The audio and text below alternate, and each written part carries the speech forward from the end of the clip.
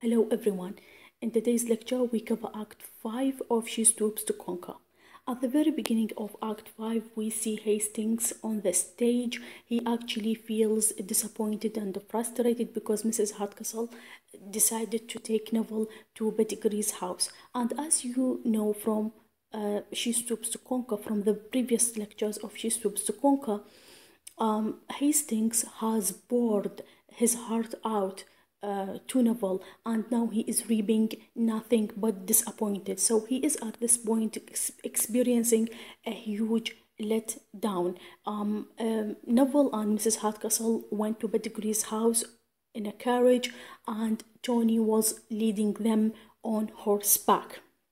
Also, at the, at the very beginning of Act 5, uh, we witness the arrival of uh, Charles Marlowe, who Charles Marlowe is Marlowe's father, and he is, of course, holding a conversation with Mr. Hardcastle. Now, um, their conversation is all about uh, Marlowe's um, uh, deception and how he treated Mr. Hardcastle poorly because he thought him or he mistook him for a common innkeeper. Now, this is the topic of their uh, discussion. Now, we also um, see Mr. Hardcastle surfacing something, which is um, the fact that Kate doesn't have a huge fortune. She only has a, a small fortune. Um, uh, Charles Marlowe um, is a prudent man. He says, um, we do not need her fortune. We need um, just a virtuous girl. And this is actually very prudent of him. Now, they also discussed uh, how the how Marlowe and Kate are infatuated, um, and this is actually brought up by Mr. Hardcastle. He he um, tells uh, his friend that he walked in on them and they were grasping hands ardently. So apparently they are infatuated, and fortune is not a um, an obstacle uh, to their union. Now we see Marlowe uh, comes in. Um, Marlowe um, uh, apologizes over and over to Mr. Hardcastle for being impudent, for mistaking him for an innkeeper. But Mr. Hardcastle says uh, it is okay. We are um, just having a, a we are just loving it, uh, laughing it away, uh, and it is uh, nothing okay it is cleared up. Um and also he said that his daughter uh, kate will not uh, um, dislike him for that. Uh, also expressed that he is um, the proudest of her approbation approbation of her acceptance of him. And uh, there is something strange in this conversation. Um, uh, for Marlowe because Mr. Hardcastle says that um, it is okay to be impudent uh, with Kate, with my, uh, he didn't say my daughter, but with Kate, with Miss Hardcastle, because girls like to be played with. And this actually is astonishing um, to Marlowe because he didn't play with um, with uh, Mrs. Hardcastle. Okay, um, and you remember from the previous lecture we said that uh, Mrs. Uh, Miss Hardcastle slipped in uh, a plain dress and she pretends to be a barmaid with Marlowe.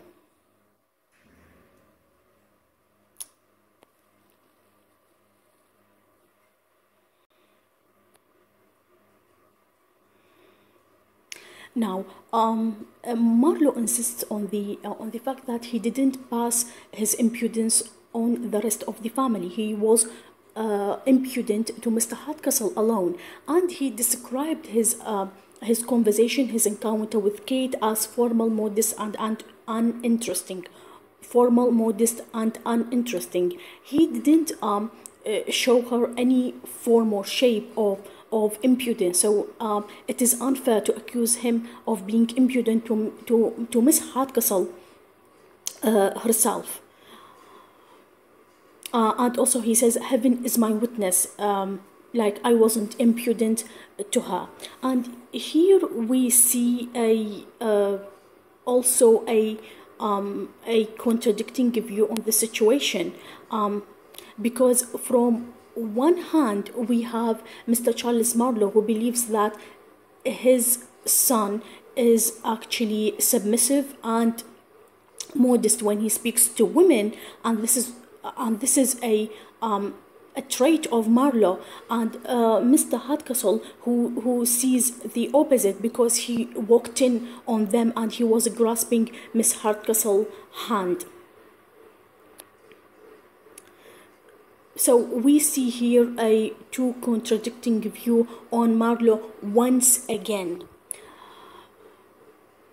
Now, um, they decide to speak with Kate on the whole situation to see whether uh, Marlowe was impudent to her or not. Now, they questioned her how many times um, uh, did you meet uh, Marlowe, uh, in which manner he talked to you, and all these questions. So um, uh, she uh, she was assiduous and she was scrupulous. She told them uh, or she tells them of everything that went on uh, between them. Uh, she says that they went, uh, they met several times, and he um, treated her in a civil manner. And also, she talked about the fact that he ended. Uh, his conversation with her or her speech with her in a very tragic in a tragic tone and a pretended rapture uh, pretended rapture pretended happiness um, of course, she is speaking um, about the situation in which she um, deceived him as um, she slipped in a plain dress and pretended to be a barmaid.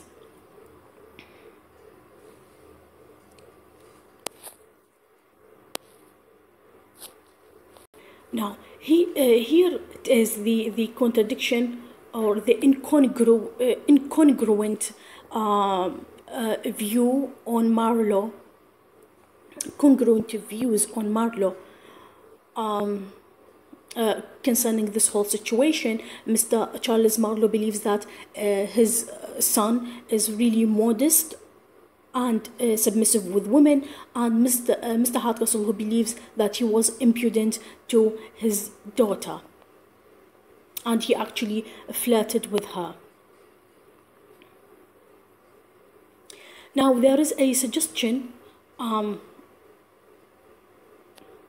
proposed by Kate. She says, okay, I am going to meet him and you see by yourself if you do, do not believe in me.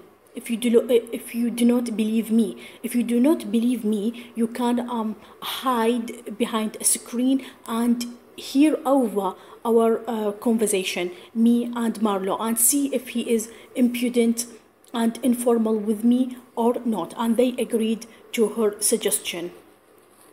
Now we go back to Hastings to Hastings and Tony. Um, now Hastings um, uh, on the stage he is waiting for um, for Tony and put this in mind that Tony never goes back on his words Tony never goes back on his words um, um, he um, promised um, Hastings um, previously and he is actually keeping his promise. So now Tony um, comes on the stage, he meets Hastings. Hastings, of course, uh, feels um, so happy to see Tony again because that means um, uh, the plan is well executed.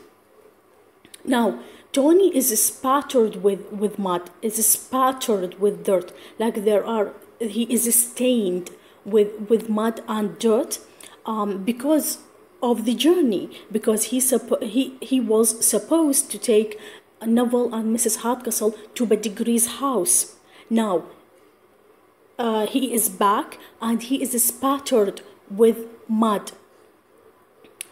Now, uh, from uh, their conversation, we get to know that Tony deceived Mrs. Hardcastle. He uh, he he told her that he is going to take her to, to Pedigree's house, but actually he deceived her. He led her to think that they are going ahead um, uh, uh, to Pedigree's house, that they are miles away from home, whereas they are actually in Mrs. Hardcastle's garden you see here uh, even at the very end of the play we see another form of deception we see deception one more time and that is what comedy is woven of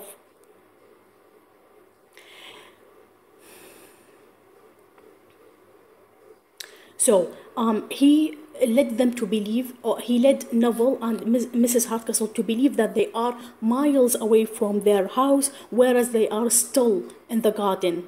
Okay, um, uh, that is his um, his trick. Now, Mrs. Hardcastle is in a very bad uh, condition. Um, she is sick of the journey. Um, she thinks she is 40 miles away from her house. Um, uh, but uh, she is actually in her garden. Now, this is the plan um, or the bargain between Hastings and Tony.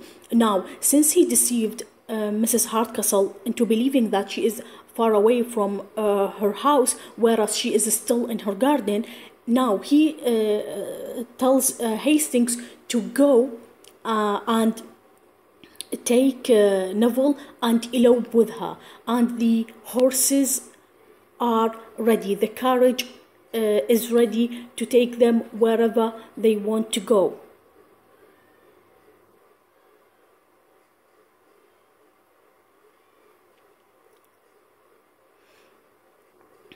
So uh, here you see at the very end, Tony advises him to take Neville and whip off at once. To whip off, to fly off, to take her and elope. Now, let's uh, go back like we are now talking in retrospect. In retrospect, yeah. Um, uh, backward to the to the journey, we see um, Mrs. Hardcastle had so many incidents at that night.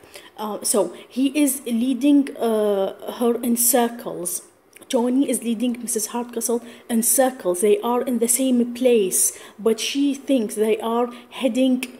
Um, forward to, to Pedigree's house. And she had so many incidents in one night. She got drenched, she got sunk with mud, got drenched, got sunk with mud.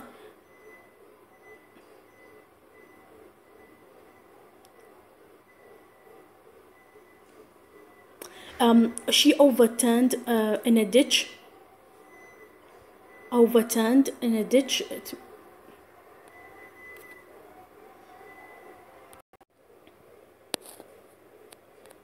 Now, I, as I said, um, Mrs. Hardcastle had so many incidents in one night. She got drenched in mud, with mud. Drenched, um, it means sunk. Okay, she is all wet from head to toe. Um, she is over. She was overturned in a in a ditch. Overturned, toppled in a ditch. Um, she got st uh, stuck in a slough. Got stuck in a slough. Slough, swamp she got stuck in a swamp. Um, uh, and she is actually now uh, frightened of robbery because there uh, are hijackers uh, on the road, robbers, stealers, thieves on the road uh, on the road, and she is afraid of being robbed. Actually, and uh, Tony plays on this chord. Tony plays on this chord. Um, she is frightened, and he is just maximizing um, her, her uh, feelings of terror. So he says, um, for instance, and these are very funny situations if you read the dialogue. He says, for instance, um, there are five high, highwaymen, highwaymen, uh, robbers on the road. Highwaymen, uh, two of them only are hanged, and three of them are roaming around, and they might they might not find us. So he is frightening her to death. And she actually, um, do you think that Mrs. Hardcastle is gullible? Why does she still believes Tony after the tens of tricks that he played on her. Okay, this might gives us an insight that Mrs. Hardcastle is actually gullible, or, or, or maybe because she loves him so much that she cannot think otherwise of him. Now, um, Tony uh, uh, uh, says um, they see um, like um, a shadow coming towards them, a, a human shadow coming uh, towards them. So um, she is now really frightened. She thinks that yeah, it is the highwayman that they are uh, that she is uh, afraid of. so Tony um, advises her to conceal herself in the thicket, the thicket, the forest, to, to conceal herself in the thicket so as not to be um, not to be caught by the robber. And he says, if the situation is really bad, I am going to cuff. Now, of course, um, this uh, shadowy human being that is uh, that is coming towards them is Mr. Hardcastle is Mr. Hardcastle. He is outside uh, of his house taking his night walks. Of course, Tony knows it is um, uh, his uh, father-in-law. And he also is going now to play another trick on Mr. Hardcastle. So he uh, he tells Mr. Mr. Hardcastle that he has um, uh, taken his mother and Neville to Pedigree's house and he is back okay? Um, but mr hardcastle is not really convinced because he heard another voice. Uh, tony says no i was talking to myself. Uh, he says no there is another uh, another voice. I am going to seek out this other voice. Uh, of course uh, it, it is mrs hardcastle's voice. Tony tries to detain him but he insists there is another voice. I am going to seek it out. Now um, mrs hardcastle hears this doesn't really hear the, this whole situation, but she can see and uh, um, and hear um, their uh, like uh, bits of their uh, bits and pieces of their conversation.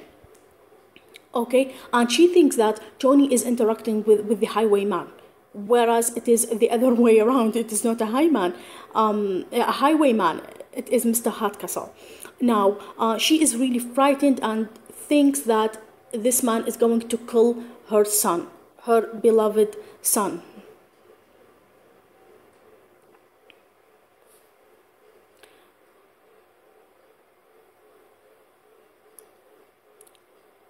Now, uh, Mrs. Hardcastle is extremely frightened, so she ran to Mr. Hardcastle and she knelt she knelt down.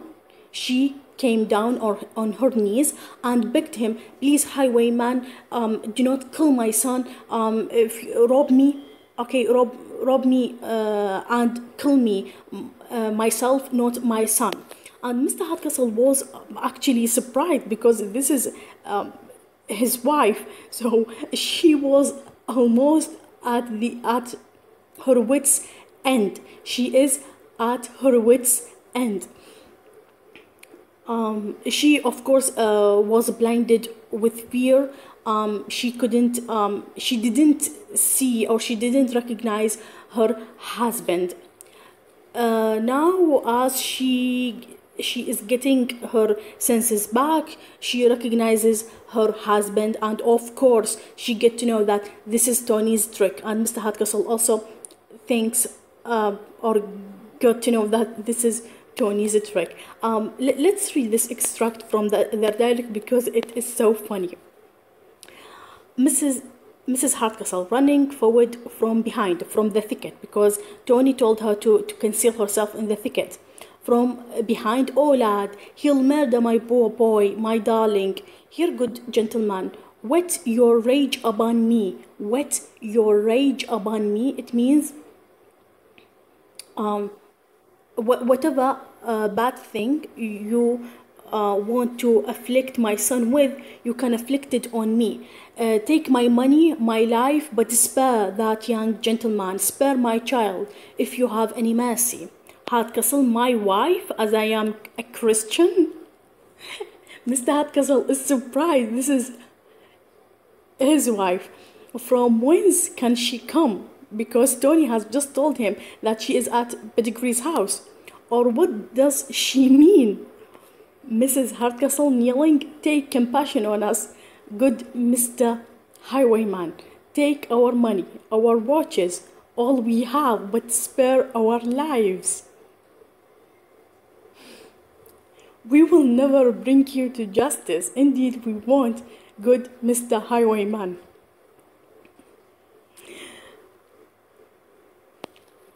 Mr. Hardcastle, I believe the woman is out of her senses. Okay, she's went crazy.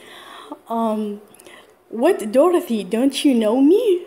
Mrs. Hardcastle, Mr. Hardcastle, as I am alive? My fears blinded me. But who, my dear, could have expected to, to meet you here in this frightful place, so far from home? What has brought you to follow us? Now, she um, she um, hasn't yet discovered that this is Tony's trick. She still believes that she is far away from home, and um, all of a sudden, Mr. Hardcastle is in front of her. Okay, she is at her wits' end. Uh, Mr. Hardcastle, sure, Dorothy, you have not lost your wits. So far from home, when you are within 40 yards of your own door, within 40 yards of uh, of your own door to him. This is one of your old tricks. You graceless rogue.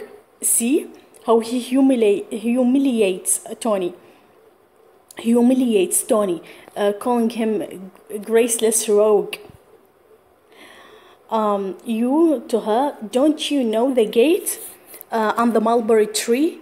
And don't you remember the horse pond, my dear? So the swamp in which um, uh, Mrs. Hardcastle uh, got stuck uh, is actually the horse pond, the horse pond uh, of uh, their stable. Mrs. Hardcastle, yes, I shall remember the horse pond as, I, as long as I live. I have caught my death in it, Tony, and it is to Tony, and it is to you, you gracelet varlet. I owe all this. I'll teach you to abuse your mother. I will.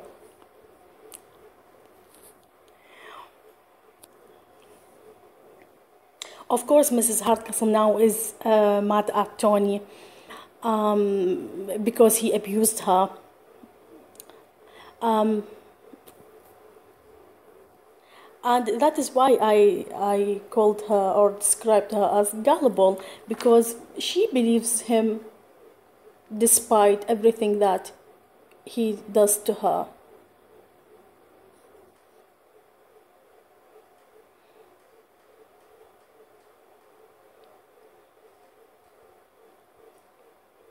Now we see um, uh, Tony says, um, All the parish says you have spoiled me, and so you may take the fruits on it. And this is really prudent. This is really prudent. Even Mr. Hardcastle admired the way he, he put it, the way Tony put it. All the parish says you have spoiled me, and so you may take the fruits on it. It means you you reap what you sow, honey.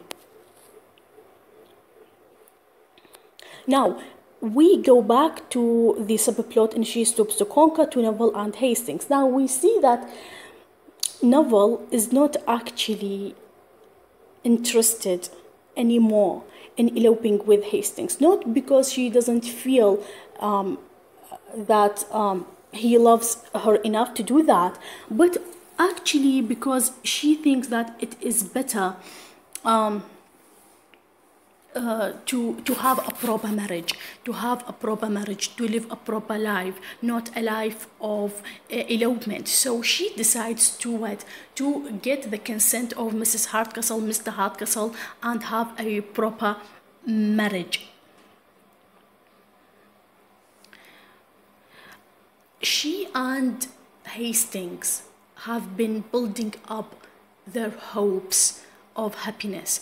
And they do not want to um, they do not want to bring it to a letdown when they discover that after their elopement they have just a momentary a temporary uh, a temporary um, uh, happiness because of uh, all the problems that their elopement will bring on them. Um, so it is um, it is better and for their own advantage to a marriage and Mrs. Hardcastle consent.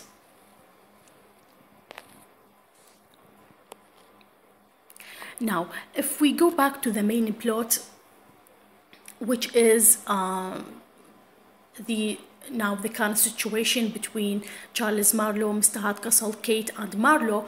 Um, here we see, I, said at the very beginning that here we have a um, a contradicting view uh, on on Marlowe, on Marlowe's behavior with Kate. Um, uh, Charles Marlowe puts a condition on this whole um, concealing themselves behind the screen situation. He says, if Marlowe is really um, impudent to you, um, I will um, I will plead him guilty. But if you are the one that is um, accusing him of being so, whereas he is submissive and uh, submissive and modest with women, as I know him to be, you are not going to be uh, my daughter-in-law. You are not going to marry my son.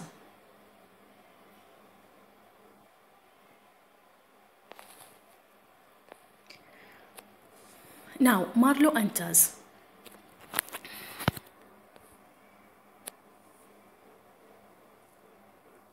Now, Marlowe likes to meet Miss Hardcastle for the last time because he would like to set out to start his journey away from this uh, this mansion.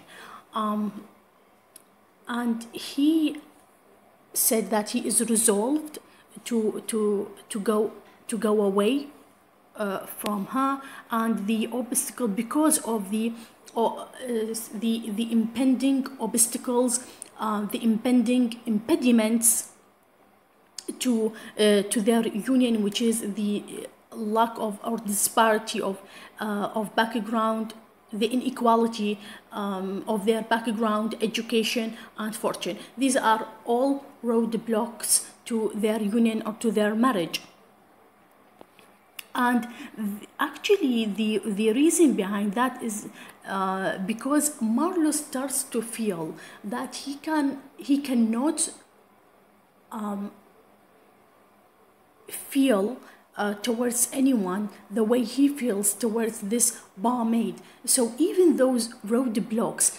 starts to lose their weight on him, um, and even his emotions um, or his feelings towards her start to what start to surmount his reason to to um, to surmount this obstacle and start to affect his reason. Uh, so he is afraid of this because um, why do I feel so deeply and immensely towards this woman that even the obstacles that I have in mind that I think uh, we are going to face are now melting away in front of me and I cannot go along without her. So he is actually frightened, frightened of his own emotions, uh, of his own feelings towards her.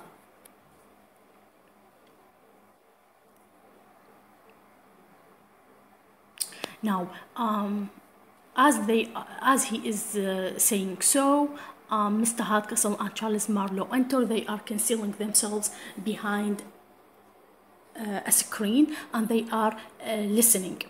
Now, Marlowe also expresses um, a, a, feeling um, towards uh, Miss Hardcastle.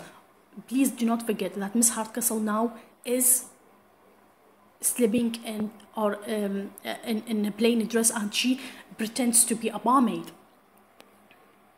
now he says that he is infatuated with her beauty like every moment passed he his passion towards her is growing um, deeper and deeper um, even uh, he feels that he can surmount any obstacles uh, that is going to um, to um, uh, to impede their union or their marriage. But now even uh, his fears are melting away. Why? Because he feels that um, he can get married to her. Even um, uh, if we um, consider the um, inequality of fortune of education and parenting now all of that is melting away and he he tells her i am i am going to get married to you okay? No matter how different we are. And here um, he speaks of his father's discernment. Discernment is the ability to judge. Is the ability to judge um, even uh, it refers to judgment and taste at the same time merging together. Uh, so he says that um, if my father can see what i see of how um, fine you are as a woman, uh, he even will not consider uh, the um, um, the small amount of fortune that you have or the no fortune that you have. Now, Kate rejects that. She says, I do not want to uh, you to torment yourself over the situation. We are going to have uh, um, many obstacles. Uh, we might have uh, uh, happiness. We might be happy for a short amount of time, but eventually you are going to repent all of that because and it is not worthy. It is not worthy to sacrifice all that you have for a girl like me. It is really not uh, it is not worth it okay? So i do not want you to spoil everything that you have um, to ruin your reputation in the um, uh, uh, in, in, the high society that you live uh, that you live among uh, for a transient love. Transient here means momentary love. For a transient um, uh, love or relationship i do not want you to repent. I do not to uh, I do not want to afflict you with all the confusion that is coming to come with our marriage. Uh, pay attention to this. No, Mr. Marlowe, I will not, cannot detain you. Do you think I could suffer a connection in which there is the smallest room for repentance? Do you think I would take the mean advantage of a transient passion? The mean advantage of a transient passion. To load you with confusion. To load you with confusion. Do you think i could ever relish the, uh, that happiness which was acquired by lessening yours?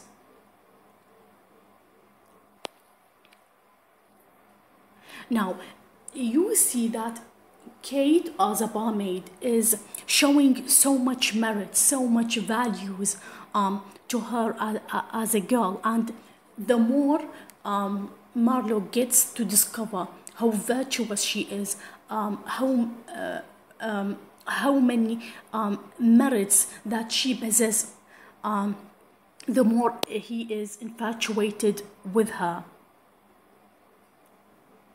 So she entreats him. She entreats him. She begs him to to um, to desist um, to go and not to think about this passion. And also, she says here that um, she doesn't want to look um, mercenary. Mercenary when you are having a relationship, a marriage, or um, or any, any sort of social relationship because you want to get um, a financial advantage from that. So she doesn't want to appear to be um, to be a girl like that. Okay, to um, uh, to charm um, a high class man so as to um, have a financial gain from that. She doesn't like to appear uh, to be to be so. Um, uh, uh, of course, that is also imprudent of her, and this is the very merit that really um, Marlowe uh, likes her not being avaricious, her not being greedy or uh, money oriented. Because she can be that. Okay, he is he is wealthy. She can be that. He is now uh, infatuated with her. She can't take advantage of that, but she doesn't want to. And this is really actually attractive to him. Now they are interacted as as they are having a conversation, holding this conversation. Um, they are interrupted by Mr. Hardcastle and um, and uh, Marlowe's father because they, as I said, conceal themselves uh, behind a screen. Now, of course, his father accused him of not being plain and scrupulous because he asked him, um, uh, "Were you um, impudent uh, to Miss Hardcastle?" He says, "No." But now they, he sees uh, or he witnesses the, the complete opposite of that.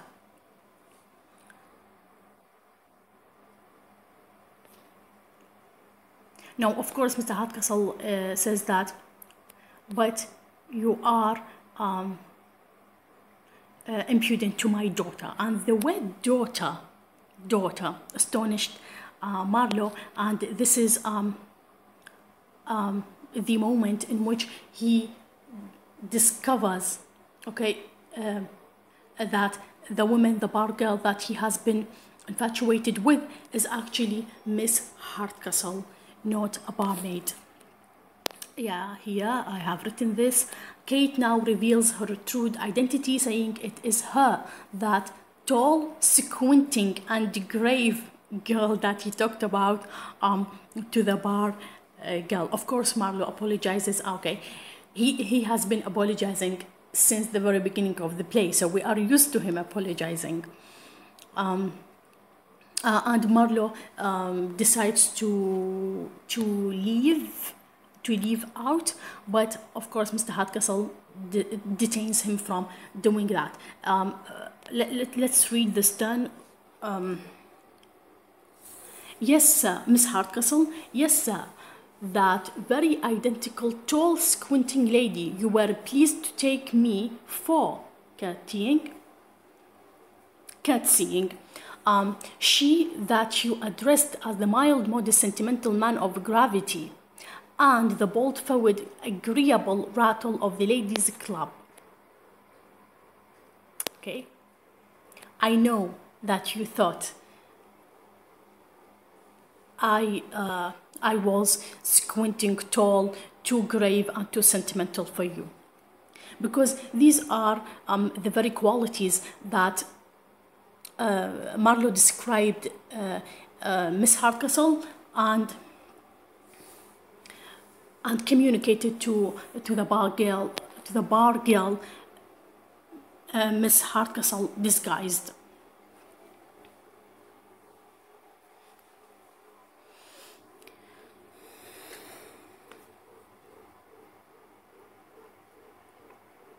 Now we go back to the subplot, which is the love affair,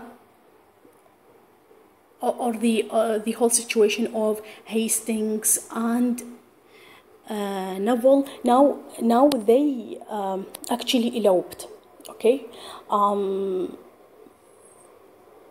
they um, they took off and Mrs. Hardcastle and Mr. Hardcastle know all of that but here Mrs. Hardcastle says it is okay for her to elope since she left her fortune behind with me okay all I need is her money and her money is with me. And that is actually really greedy of her. Now we have two uh, we have two um, qualities of mrs hardcastle. Gullible and greedy. We inferred that. It is not stated in the text. Now at the very end of uh, she stoops to conquer we see Hastings and Neville enter, um, walks in on all of them, uh, especially Mr. Hardcastle and Mrs. Hardcastle, and they direct their words to Mrs. Hardcastle, saying that they have given up the idea of flying off and they want uh, her consent they want um, they want her consent of, of their marriage okay uh, see in here hastings said that they ha- they that he has given up the idea of flying off with Neville and he he now appeals from her justice to her humanity. Okay Neville says the same thing that she she has been delusional to think that they can elope but now she is back um, uh, to her prudence and she, she thinks that she has to gain to gain other people's consent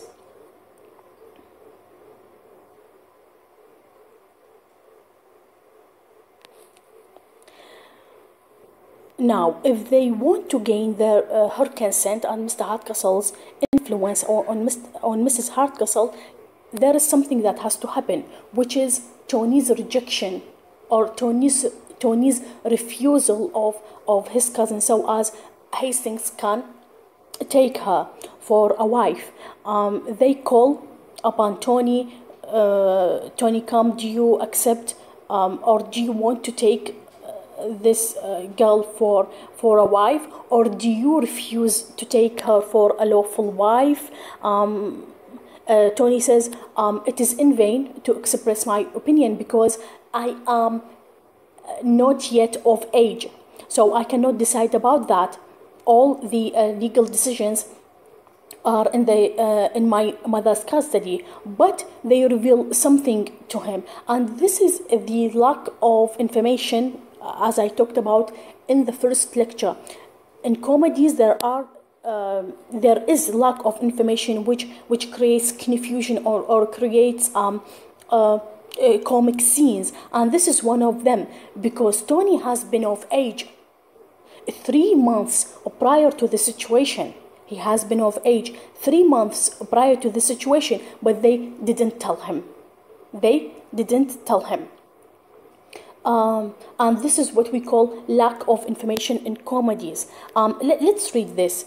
Um, Mr. Hardcastle says, It is good they are back and calls upon Tony, asking whether he, ref- he refuses his cousin or not. Tony says, It is no use since he is not of age. Mr. Hardcastle says, He is of age, but they kept it from him so as to conduce to your improvement okay? We thought if you do not know that you are not yet of age that will make you a better person. Conduce to bring about a certain outcome or a certain result from uh, keeping this piece of information from you. Tony so happily takes her takes her hand and refuses her for a true and lawful wife. Tony now says uh, takes neville's hand and says i refuse you for a true and lawful wife. Of course, Hastings was so happy. Um, he describes, I think he describes Tony as a true friend. Remember, Tony never goes back on his words. And this is the one quality that I really like about him. They are all happy now. Um, of course, Kate and Marlowe are holding hands now, and they decided to um, to hold a celebration tomorrow morning, inviting all the poor of the parish to celebrate with them.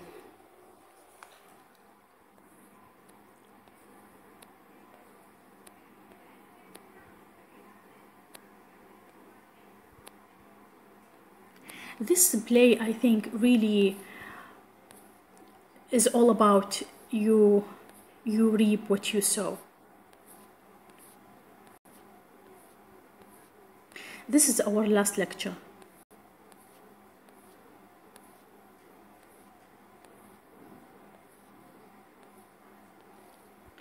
Now I remember uh, um, Tennessee Williams saying in one of his plays, there is rarely a graceful way to say goodbye.